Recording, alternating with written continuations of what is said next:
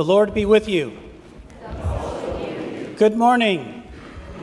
And welcome to St. Philip. It's good to see all of you here today. It's Pentecost Sunday, where we recognize how the Spirit blew through those disciples long ago, blowing fresh winds so that they could speak the good news. And so we hope and expect that the God Spirit will, will blow through to us as well. We have a bulletin. I hope you have one of these. It calls, uh, it helps us know what's happening. It gives us the prayers. People online, we're welcome that, that you, we're glad that you're here worshiping with us online. Uh, you can download this through our website and you can follow along as well. And on page four, you can see those in our sanctuary and at home. You will know, notice that we will have communion today. And uh, it's, it's our regular kind of communion. For those in our sanctuary, if you will turn to your hymnals on pages 9 through 11, that gives us the prayer of thanksgiving. It's a responsive kind of uh, singing. The choir is the leader, we are the people. So uh, turn to those pages. And if you're in the sanctuary, hopefully you got one of these little cups. And these are a little bit different, not different than what we usually have, but just again to refresh your memory. There's a, one piece of cellophane on the top that gives, gets you the little, um, uh, little piece of bread, little whatever it's called. What is it called? Wafer. Wafer, that's right. Suddenly I went blank. Uh, but then the next piece then gets to the juice. And so these will, you will be directed in our communion service on page four to take that. For those at home, gather some bread and some juice and join us as we partake communion today. There's some announcements. I want Alyssa to do one before we move forward. So, today certainly is the day for the Holy Spirit um, and for celebration as we enter into Pentecost. And there's one other celebration that we're also doing today, and that's for our graduating seniors. Let's hear some woos. Yeah, you can woo. There you go. So, uh, for our graduating seniors, we're going to have a reception after the worship service in the youth hall. You're all invited to come and wish them well. Um, I hear there's a bunch of goodies that are going to be down there. Um, it will be delicious. And also, if you have not had a chance to sign their Bibles, please do so. They're right now on the Welcome Center table, and when it's time for that reception, we'll bring them down to the youth hall and you can sign those there. So I've got as our graduating seniors Marie Stark, Tyler Belknap, Emily Chu, Ashley Perez, Jacob McLean, and James Moffat. Um, some of them will be here and some of them can't be here, um, but we are grateful for all of them. Um, Marie is doing our live stream over there. And then we've got several sitting in our pews. We've got Ashley. I saw Tyler earlier. So we're, we're it is a blessing to be able to participate in these life events um, with one another. So please come to the reception and help wish them well. And so, also, you have in your bulletin on pages six and seven other announcements. Please note those things that are, that, that are there for you. Uh, if you have questions regarding those, let us know. I think that that's it. Let's uh, pass the peace of Christ. May the peace of Christ be with you. And please greet one another with that peace in the most comfortable way you feel.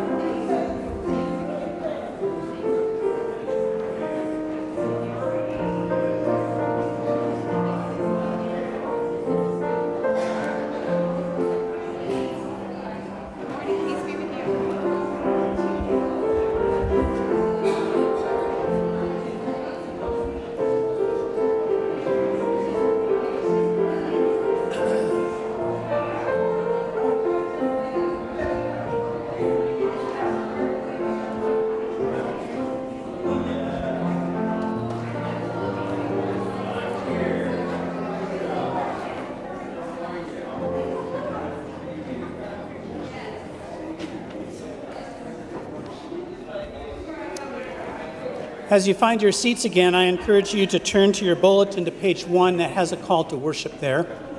And by the way, we're thankful for Missy Calhoun, who will be our liturgist today in our service.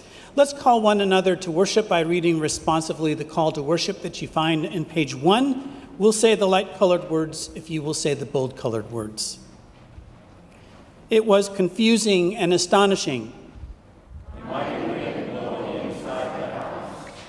tongues of fire that didn't burn but brought to life. Bewildering and amazing. No words can contain the power of the Holy Spirit, who is still alive today. Filling us with joy, and let us worship God.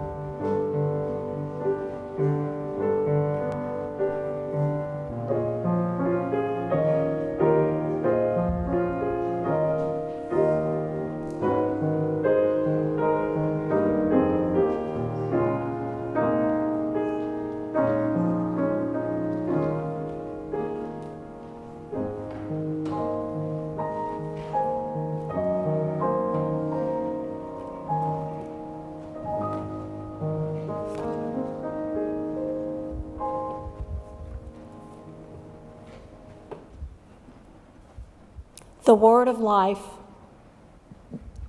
the font of identity, the table of sustenance. Children of God, welcome home, and I invite you to pray. Holy Spirit, blow through to us. May we sense the fresh wind of your Spirit moving and guiding us forward and outward. And as we come to the table today, O oh God, may we recognize your Son, the Christ, in each other and others outside of these walls. We pray in his name. Amen.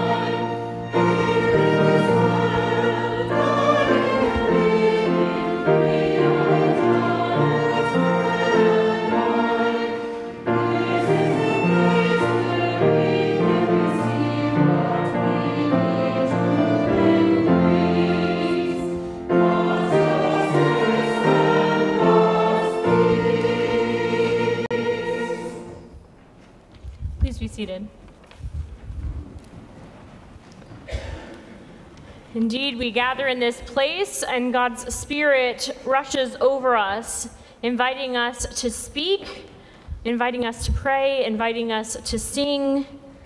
In this time in our worship service, we confess, confident that God understands what's on our hearts, even if we don't have the words ourselves. We speak in one voice so that we may help each other. Let us confess before God and one another using the words printed in our bulletins. Eternal God, forgive your church for its lack of courage and nerve. Forgive your church for its wealth among the poor, its fear among the powers of sameness, and its cowardice among the warring of nations. Eternal God, forgive us, your children, for our lack of confidence in your guiding spirit, our lack of hope in your empowering spirit and our lack of love in your generous spirit. Humble us when we are strong. Affirm us when we are weak. Shame us when we trust only in ourselves. And surround us when we are lost.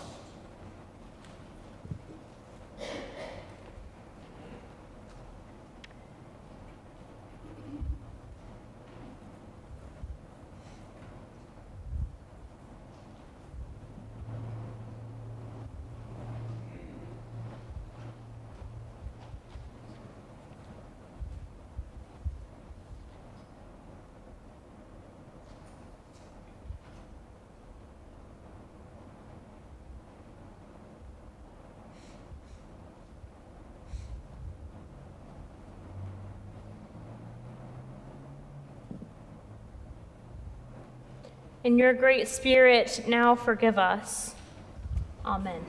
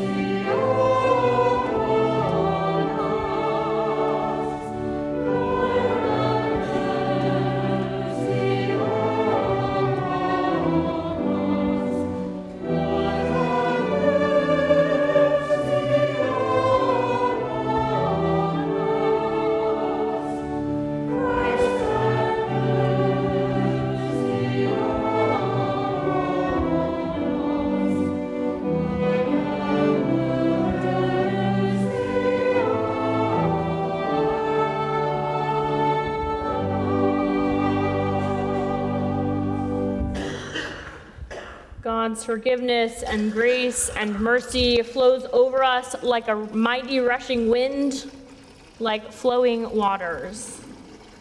Friends, believe the good news of the gospel. Amen.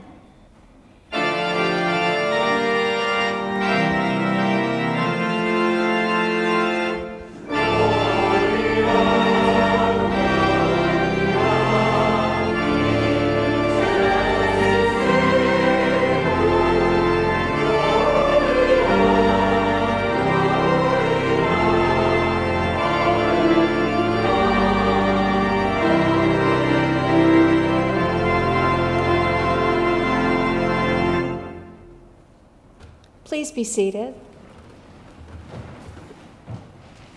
The Lord be with you. I invite you to pray. Spirit of God, at Pentecost, you created new understanding among the followers of Jesus. Move among us this day and fill us with new understanding of your living word. Energize us, bear witness to the world you love. In the name of Jesus Christ, our risen Lord. Amen. Reading the Old Testament. The Old Testament reading today comes from Numbers chapter 11, verses 16 through 23. If you'd like to follow along, it's in pages 113 and 114 of our Pew Bibles. So the Lord said to Moses, Gather for me 70 of the elders of Israel, whom you know to be the elders of the people, and officers over them. Bring them to the tent of meeting and have them take their place there with you. I will come down and speak with you there, and I will take some of the Spirit that is on you and put it on them, and they shall bear the burden of the people along with you, so that you will not bear it all by yourself and say to the people, Consecrate yourselves for tomorrow, and you shall eat meat, for you have wailed in the hearing of the Lord, saying, If only we had meat to eat. Surely it was better for us in Egypt. Therefore, the Lord will give you meat, and you shall eat. You shall eat not only one day, or two days, or five days, or ten days, or twenty days, but for a whole month until it comes out of your nostrils and becomes loathsome to you, because you have rejected the Lord who is among you and have wailed before him, saying, Why did we ever leave Egypt? But Moses said, The people I am with number 600,000 on foot, and you say, I will give them meat, that they may eat for a whole month. Are there enough flocks and herds to slaughter for them? Are there enough fish in the sea to catch for them? The Lord said to Moses, Is the Lord's power limited? Now you shall see whether my word will come true for you or not. This is the word of the Lord.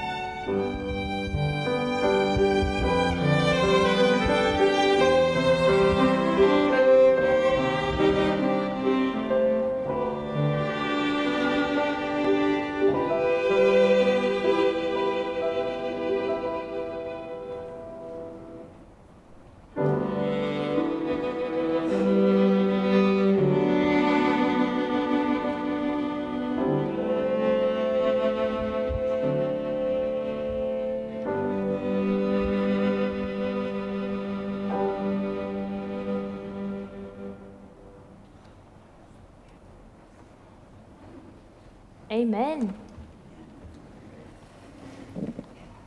It's our time for young Christians, and I've got something here that I would like you to see. So, anyone who'd like to see a picture of the Holy Spirit, come on up. if you want to see a picture of the Holy Spirit, see, I got some interested folks. Especially our little ones, if you'd like to stretch your legs and come see a picture of the Holy Spirit, you're welcome to come up to you. And if you're joining us at home, you'll have to wait and see it a little later, but I'm going to describe it for you, okay? I've got a picture of the Holy Spirit here.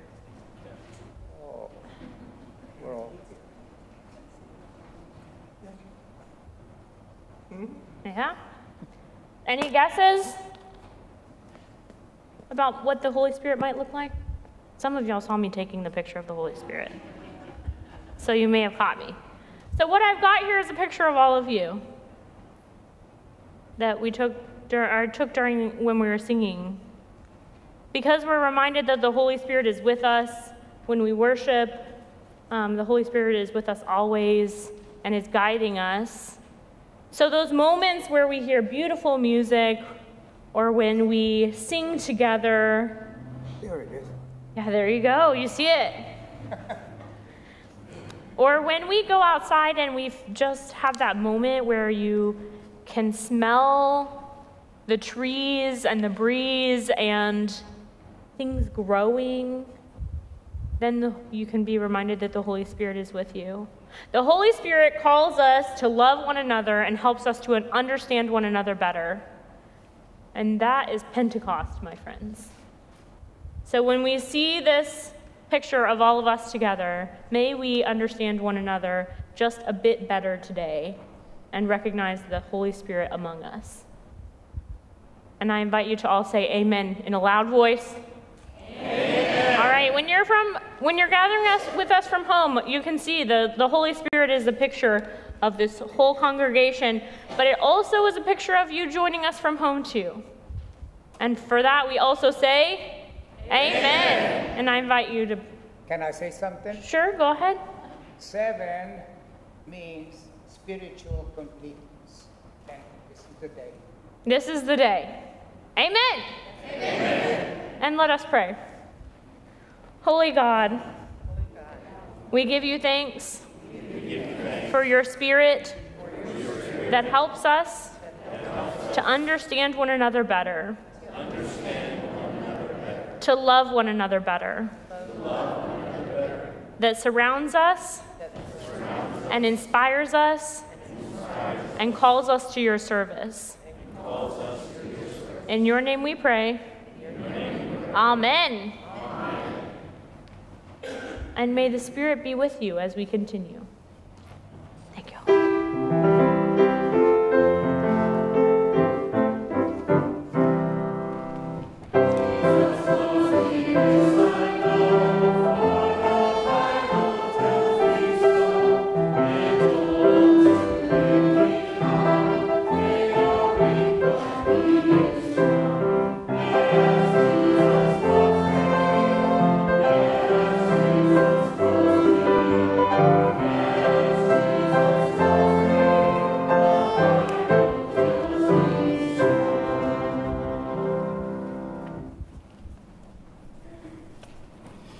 Passage I preach on today comes from the book of Acts, Acts of the Apostles.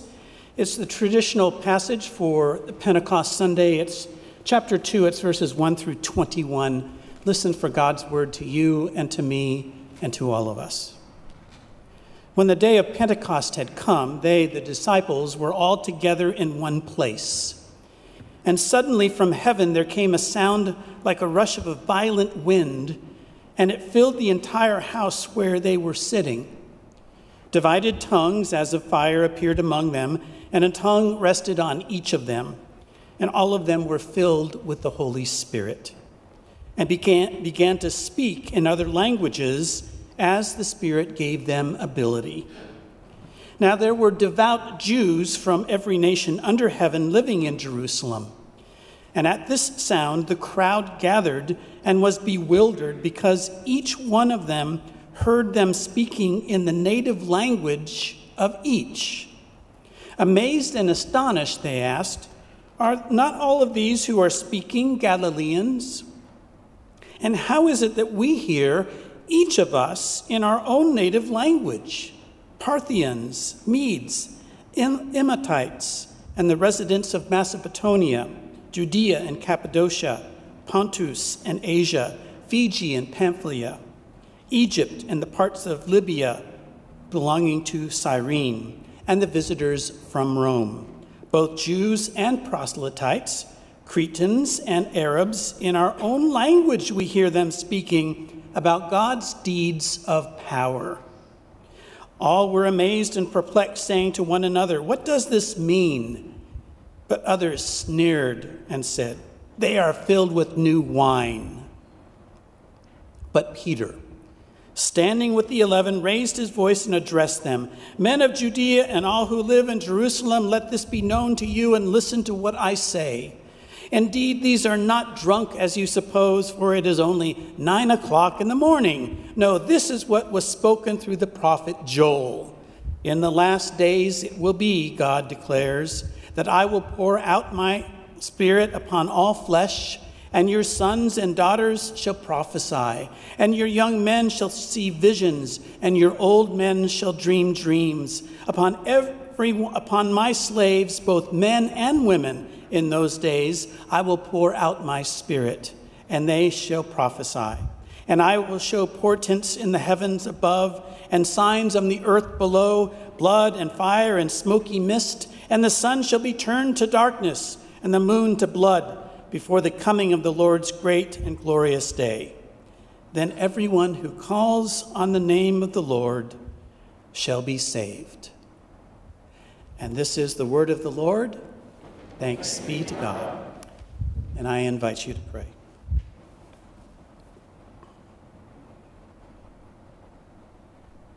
Holy God, be with us as we discern your word, as we understand how we can be more faithful, especially on this day of Pentecost, as we sense your spirit blowing through us.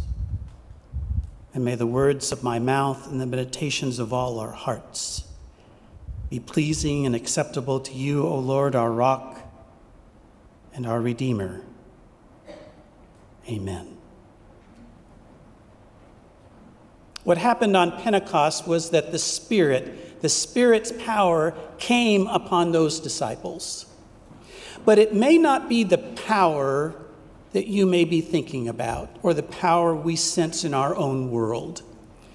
As I was reflecting on this, there was a couple passages, actually one that I remembered, and then another that I read about that may help us a little bit understand about the power uh, that Jesus was talking about when he was alive and doing his ministry. And so the first one that I remembered was the story in it's both in Mark and in Matthew where the sons of Zebedee, James and John come to Jesus in one of those gospels, it's the mother of James and John that come to Jesus. And what their request is that James and John will sit with Jesus in his kingdom or in his glory. And Jesus responds to them and says, Well, you know, I'm not sure if they are able. Are they able? And they say, Yes, we are able to do what you have, will require of us. We are able to do that. And Jesus says, Yes, indeed, you are able. But then he says, That's not mine to grant. Only God in heaven can grant who sits on my right and on my left in my kingdom or in my glory. And then in both those Gospels, the story continues. Because what we read is that the other 10 disciples are angry that James and John, the sons of Zebedee, or their mother, have asked Jesus this question. And Jesus gathers them. And he says these words recorded in Mark's gospel You know that among the nations, among the Gentiles, those whom they recognize as their rulers lord it over them, and their great ones are tyrants over them. But it is not so among you. But whoever wishes to become great among you must be your servant and whoever wishes to be first among you must be slave of all. For the Son of Man came not to be served, but to serve, and to give his life a ransom for many. And so, the power that Jesus is explaining to the, these disciples at this point is not about who sits in the kingdom beside Jesus, it's a, a power of servanthood. How are they going to serve? Those will be the ones that are great. The other passage I read uh, and, and, and heard about was in the last part of Luke's gospel. And actually, Daniel Migliore, Migliore writes about this in his book, The Power of God and the Gods of Power. And he says that those people that are watching Jesus on the cross suffering, they ask a question in Luke's gospel. The question is He saved others, let him save himself. And then Migliore, who wrote in this book, says there could be a paraphrase of what those soldiers and others watching Jesus die could really be saying. And this is what he says Show us that you have the power to save yourself, to survive, to look out for number one, and then we will believe that you can also help us, for we want to survive above all else, and we acknowledge power that is useful to that end. And so, what we see in between the lines of this gospel passage of Luke, that the power is not so much of this world, but something different. Jesus is not going to give them power to be better so much or to be above anyone else. He's going to give him a different kind of power. Migliore goes on to say, in his suffering and death as, his, as in his ministry, Jesus refuses to evoke the power of God in a way that world that we would merely support dominant and dehumanizing ideas of divine and human power. He refuses to play the power games of this world. So, power from Jesus is different than what we may think. It's also different that in this funny story that I read this past week, a story about a president long past, President John F. Kennedy, he was asked to play golf with a prominent member of Washington, D.C. He, he decided he would do that, so they go to the golf course, and President Kennedy hits the first shot. It must have been a par three because he hits the shot, it lands on the green about three feet from the pin, from the hole. And they get up to the hole, and, and Kennedy looks at this ball and where, where the pin is and turns around to his partner, and partner's just kind of looking around. And he says to him finally, Certainly you're going to give me this, this, this putt. It's just so, so close. And the man says, Well, I think you should go ahead and putt it. It's good for your character. And also, you can see if, if the greens are fast or slow. And so Kennedy gets around, gets his putter, he gets around and he tells the band, You know, I work in the White House all day long for guys like you, and now you're not even going to give me this putt. And besides that, we got to keep, keep this game going because I got a, a meeting with the director of the IRS right after this meeting, after this golf game. And suddenly the man says, Pick the ball up. We can, we can keep going in, the, in this game. You see, he thought maybe Kennedy had power, and maybe he did over the director of the IRS. You see, power in our society, even today, is different from what Jesus was getting at. Some of us read a book a few years ago in this church. It was a book by uh, Robert Schnase. He is currently the bishop of the Rio, Texas Conference of the United Methodist Church. He wrote a book, several books. The one that we studied is Five Practices of Faithful Living. And one of the practices that we read about in that book is mission, uh, uh, let me make sure I get the words right uh, risk taking mission and service. Risk taking mission and service. And he says in that chapter, when we read this, that there are a variety of ways that people are motivated to serve. Some people just serve because out of duty and obligation.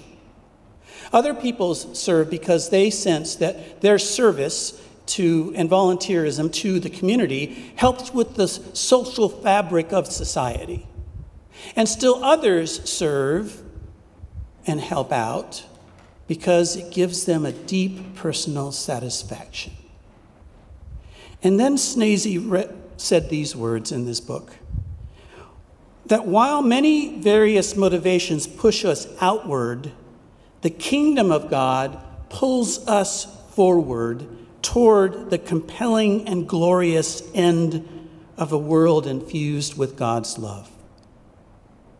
And I love that. I even circled that in my book when I first read that book. That God's, we have motivations that can push us outward, but God is pulling us forward. Schnase continues to write An outward focused life flows naturally and inescapably from following Christ.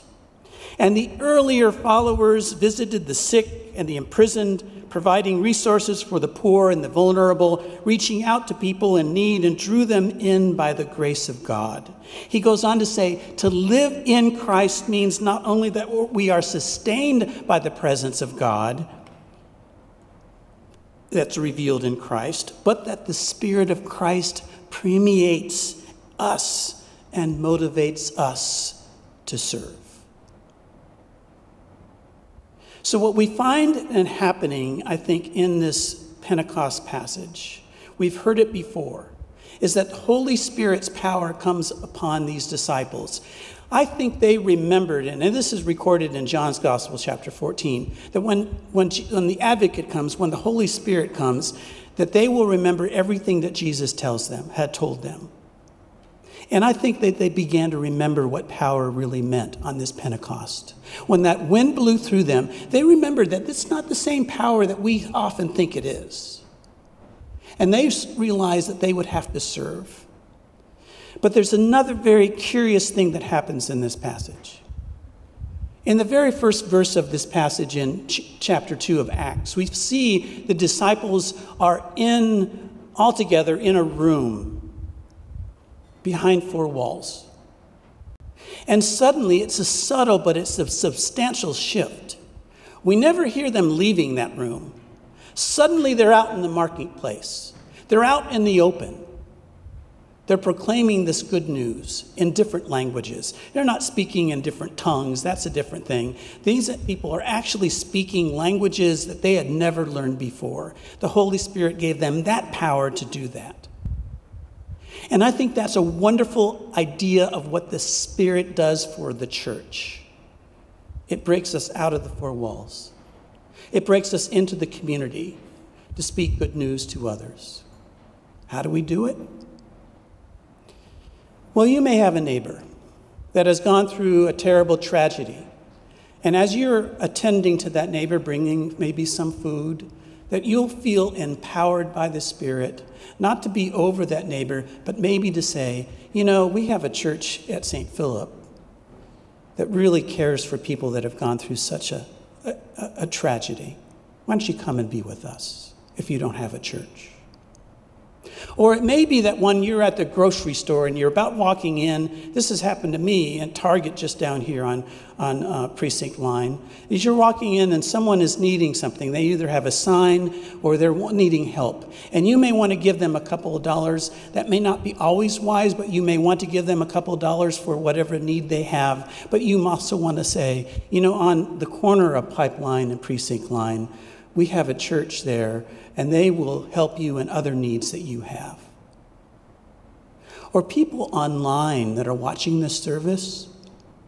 You may say, you may have a friend in another state or maybe in your own neighborhood, and you may say to them, you know, that, that St. Philip Church in Hurst has not, not too bad of a worship program, not too bad of a worship service. Why don't you join me? But then the Spirit may empower you to say, you know, if you watch that, I'm going to call you after the service and let's talk a little bit about some of the messages that you heard in that service. You see how the power of the Spirit can work? How it can spark us outward and forward? that may be very the very thing that we need and that we should be praying for because that's what the task of the church has been from the very beginning. And I say thanks be to God. And I invite you to pray. Holy God, continue to guide us. May we sense how your Spirit blows through to us and causes us to look outward and to move forward as a church and as individuals. We pray in Jesus' name. Amen.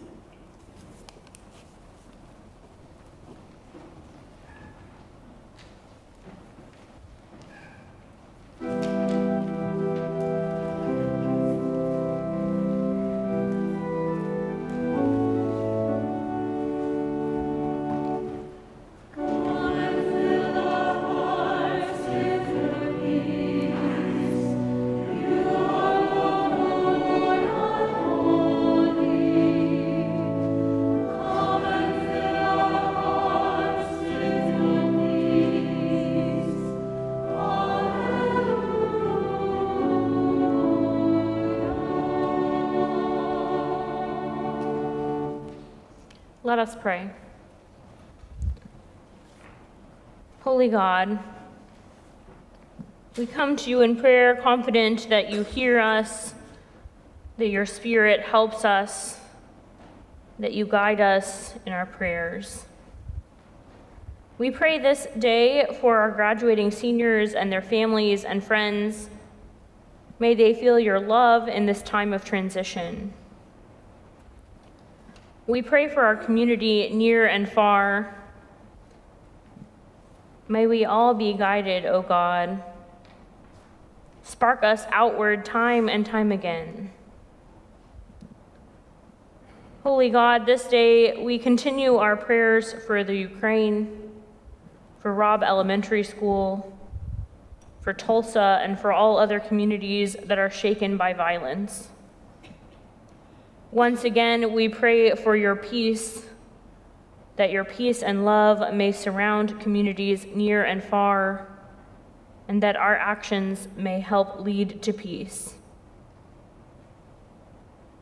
May the power we seek not be of this world.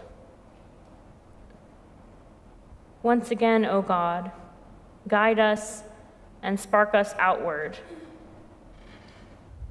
In your name we pray. Amen. In this time in our worship service, you are invited to give your tithes and offerings. Um, we do have a basket located at the back of the sanctuary for your financial gifts that helped serve the community um, and to uh, go forth and spark forward, um, just as Pastor Greg was speaking about. Also, in this time, I invite you to reflect about how God is calling you to speak to your neighbors, um, to be open to the Spirit as you go out through this week. Let us give our gifts, tithes, and offerings.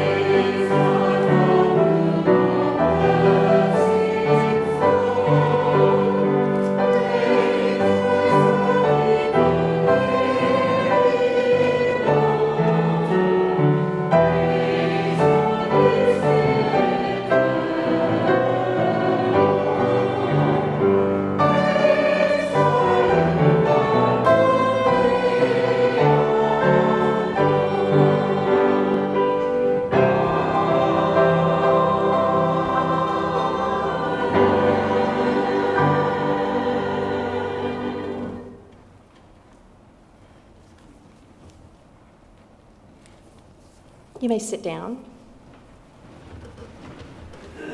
Let us give thanks to the Lord our God. I invite you to pray. Spirit of grace and power, bless the gifts we offer today so that they may accomplish surprising things in Jesus' name. Equip each of us and all of us together to proclaim the good news with grace and power in ways we have not yet dreamed possible. Amen. Friends, this is the joyful feast of the people of God. We read in the scriptures that people will come from east and west and north and south and sit at the table in the kingdom of God. This is the Lord's table, and our Savior invites all those who trust in Him to share in this feast.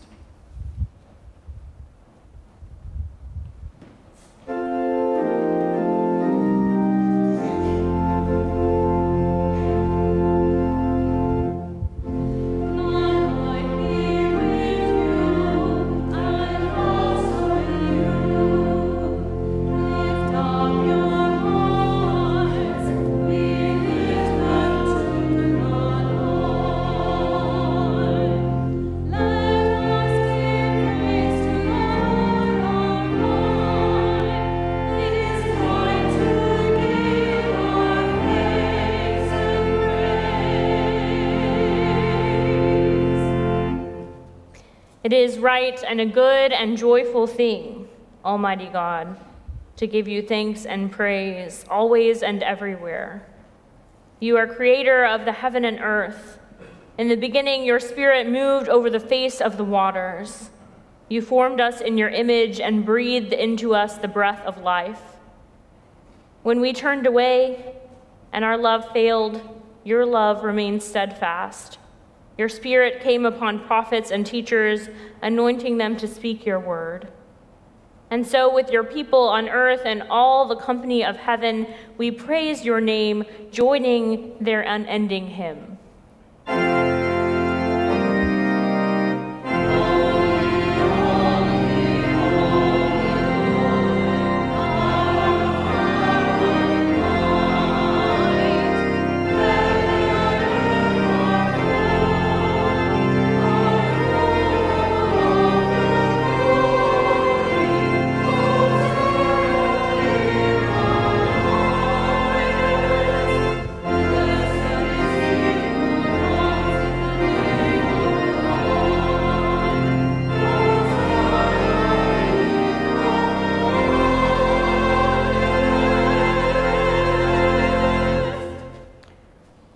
You are holy, and blessed is your Son, Jesus Christ.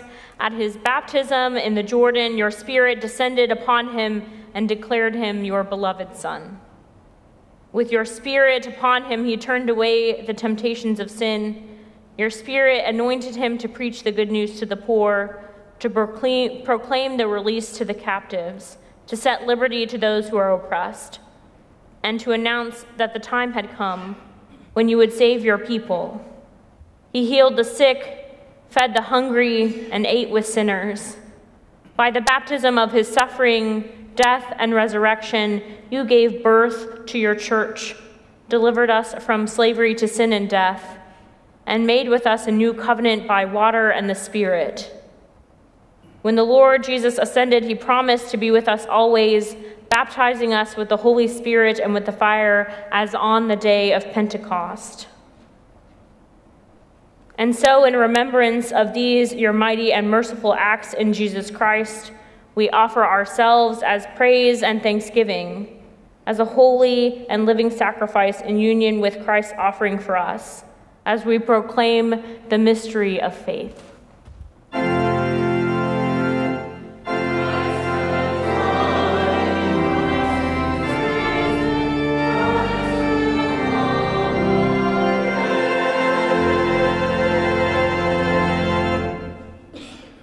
Pour out your Holy Spirit upon us, upon all of us gathered here, near and far, and upon these gifts of bread and cup.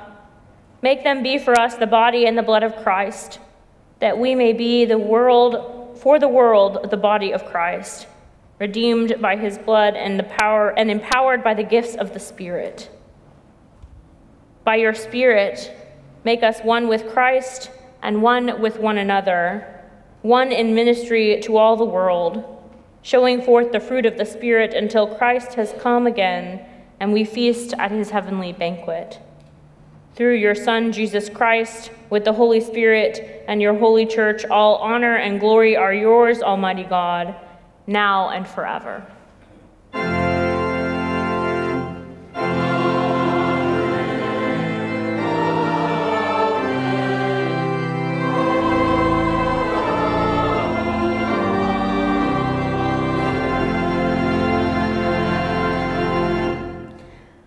Now we join with those near and far, those of times past and times to come, and we pray the prayer that Christ has taught us. Our Father, who art in heaven, hallowed be thy name. Thy kingdom come, thy will be done, on earth as it is in heaven. Give us this day our daily bread, and forgive us our debts, as we forgive our debtors and lead us not into temptation, but deliver us from evil. For thine is the kingdom, and the power, and the glory forever. Amen. The Lord Jesus, on the night of his arrest, took bread, and after giving thanks, broke it and said, This is my body given for you. Take, eat, do this in remembrance of me. In the same way, he took the cup and he blessed it, saying, This is the new covenant sealed in my blood poured out for the forgiveness of sins. Do this in remembrance of me. As often as we eat this bread and we drink from this cup, we remember Christ's birth, life, death, and resurrection until he comes again. Friends, these are the gifts of God for the people of God. Let us share in this feast. Thanks be to God.